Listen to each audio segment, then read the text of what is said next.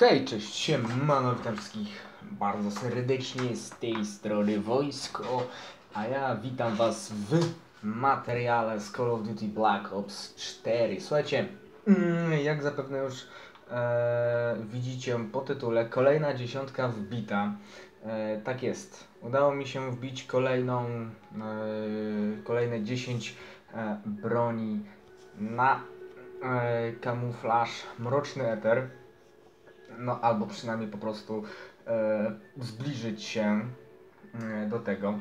Jak zapewne pamiętacie ostatnim e, razem, no dość e, sporo rzeczy, e, kiedy było podwójne PD się e, podziało, trochę też broni powbijałem wtedy, ale jako, że dzisiaj jest godzina 21.27, e, kiedy to nagrywam, jest niedziela, wy pewnie to widzicie w poniedziałek, pewnie około godziny 17-18, jakoś tak.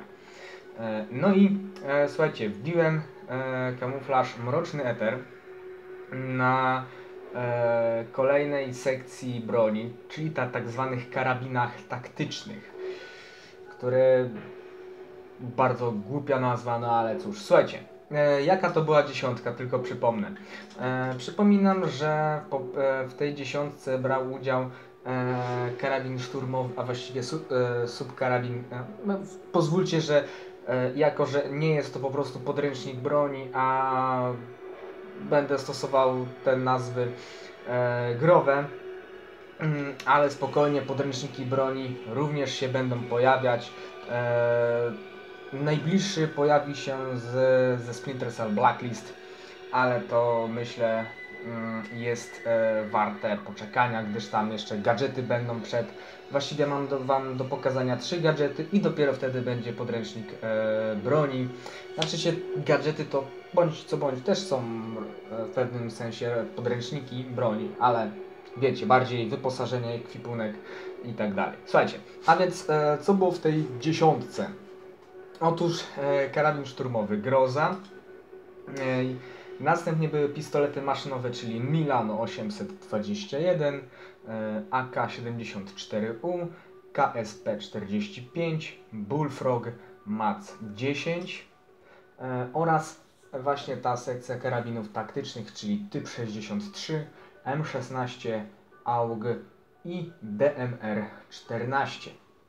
Mm, I Zresztą jak możecie tutaj e, teraz zobaczyć, właśnie te ostatnie cztery e, bronie, to właśnie jest sekcja tych karabinów e, taktycznych, że e, nawet wam pokażę. Widzicie, e, jak widzicie diament zarazy jest wbity, e, tak więc mroczny eter coraz bliżej jest, tak. Tutaj również wam zaprezentuję, żeby nie było również złota żmija i diament zarazy. Na augu to samo, czyli złota żmija, diament zarazy i DMR 14 również złota żmija i diament zarazy. Mm, Tak więc jak widzicie droga do mrocznego eteru jest e, coraz bliżej. Słuchajcie, mm, Teraz, żeby nie było, e, co będzie robione w następnej kolejności. Otóż, e, kolejne 10 broni mm, to będzie tak: Stoner 63, mm, który no, mm, swego czasu w trakcie podwójnego PD e, był. Udało mi się po prostu dość sporo podziałać przy nim. E, Została mi nim do wbicia tak naprawdę trzy kamuflaże. Mm, I to będzie e, zakończone tak naprawdę. E, Następnie pojawi się również RPD, które w trakcie podwójnego PD było, zresztą niedawno to było, pokazywałem Wam nawet na kanale, pojawił się owy materiał. RPD również w tej dziesiątce się znajdzie. Mm, Następnie także M60. Yy, A tutaj macie taką ciekawostkę, właściwie bardziej easter egg. Tak, tudzież bardziej jajko wielkanocne, że tak to nazwę. E, mm, kto rozpoznaje tą buźkę, wie z czym to jest związane, no to pozdrawiam. E, następnie przychodzi, i to są karabiny maszynowe.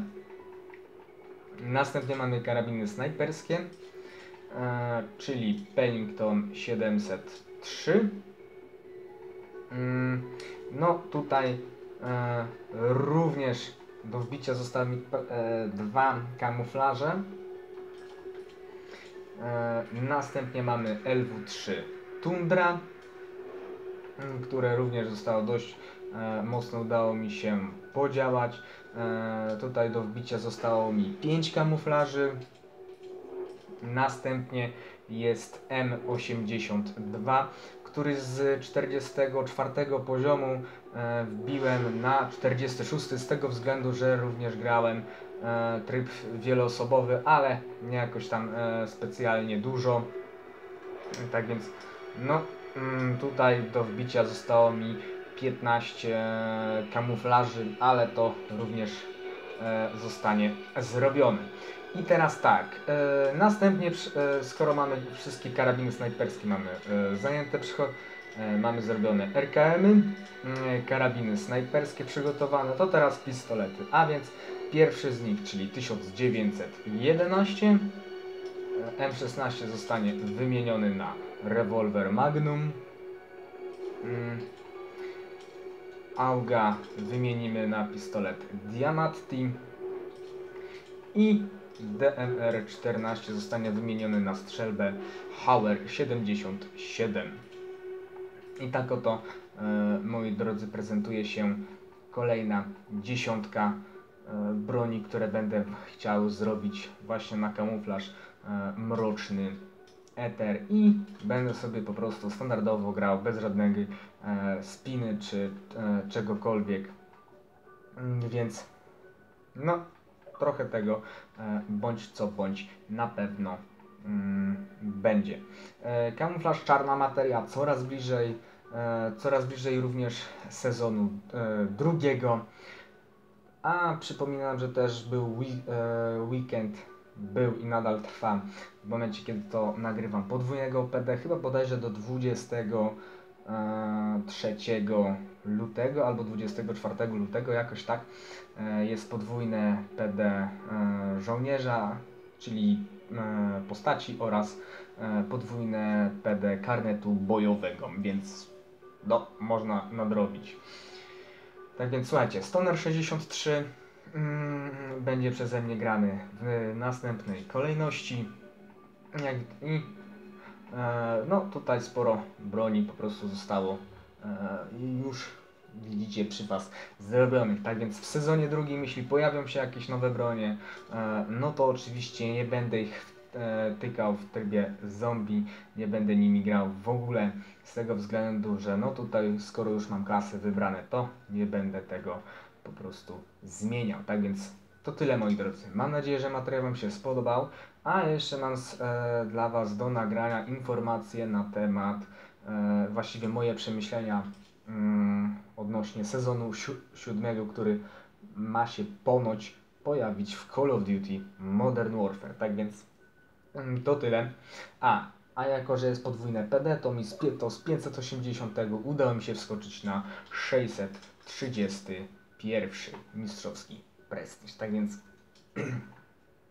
podziało się sporo. Dobra moi drodzy, to tyle.